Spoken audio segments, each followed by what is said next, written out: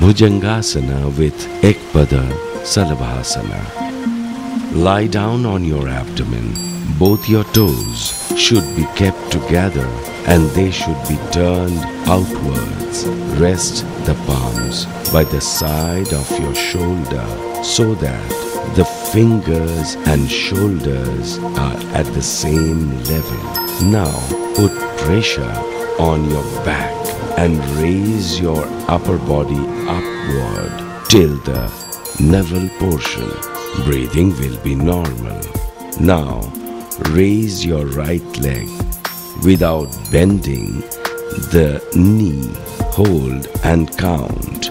Lower down your right leg and do the same with left leg. After completing, take rest in Savasana, counting as required.